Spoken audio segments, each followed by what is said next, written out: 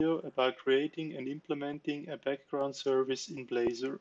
What is a background service? It is a type that does predefined tasks during intervals. We have two options to create such a service. We can either extend the abstract class background service or we can implement the interface I hosted service. I will choose the first option.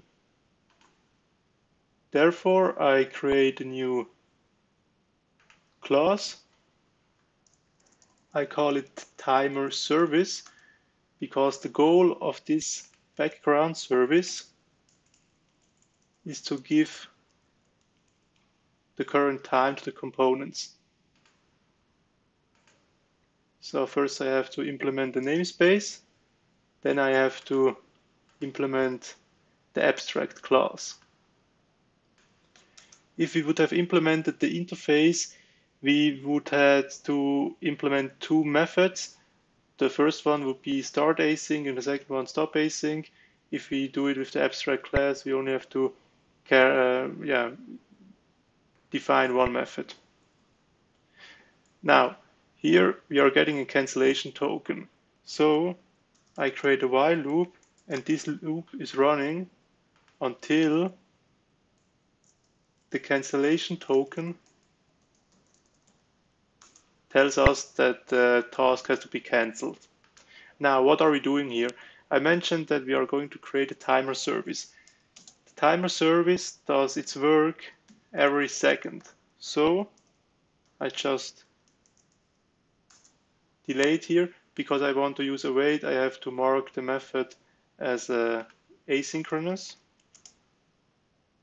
So now here we want to do something. I mentioned that the timer service is here to be consumed by our components. So I have to define an event. Uh, this event is static and the event type is of function. It takes a date time as a parameter and returns a task.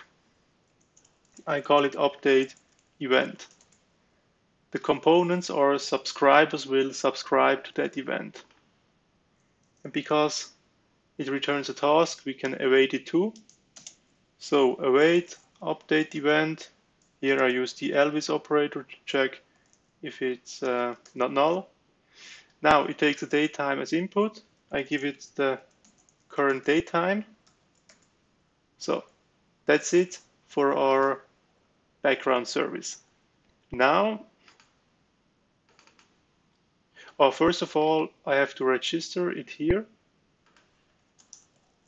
for dependency injection.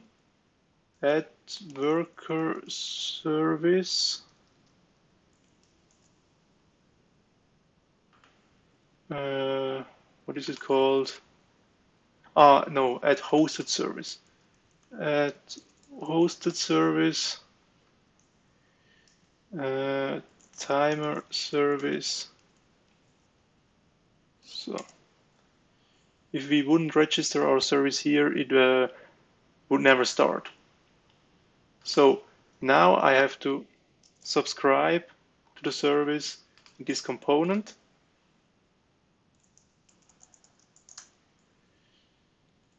I just define a field with the time. Now I override the initialize method. Because the update event is, uh, static, we can just use it on the class and not on a concrete instance. So now I have defined the update in a way, update event in a way that it re returns a task. So if we um, use the async keyword here, every, uh, it's automatically going to return a task. It's the same thing in an asynchronous method. Now the input parameter is of type uh, datetime. So here's the here's that. Now because the background service runs on a background thread, I have to call uh, invoke async in order to change the UI thread, invoke async is going to take an action as a as an argument. Now, what are we going to do in this action? Here I've defined the time. I am going to set this time using the in uh, the yeah, the parameter here. And in order to see the UI change, I have to call StateHasChanged because this is uh, run on a background thread. So now we can use the time here. But to enhance the example a bit more, we will not only change the time, we will also change the appearance. So I define uh, another string which we are going to use for the UI. I make an inline styling. Oh no, I don't need Razor syntax for that. Background color is style. So, and now we are going to change the style too. How are we going to do that?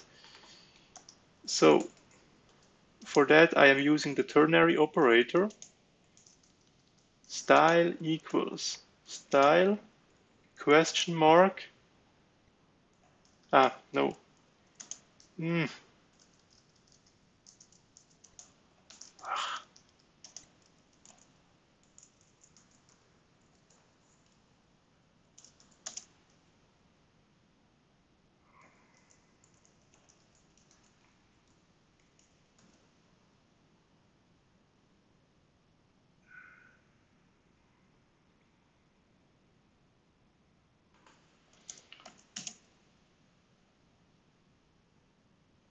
Okay, uh, what is this uh, line of code doing?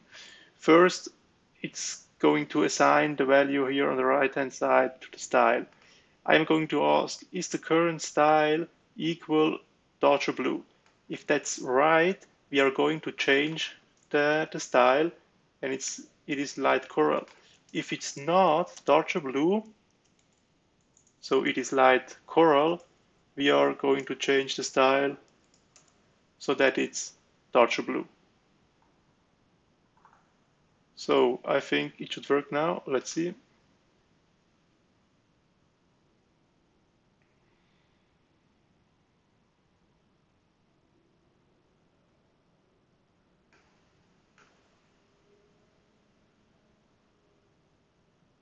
Okay, we see that the UI is changing, but because I I don't have the, the seconds included in the the time string, we have to, to optimize that.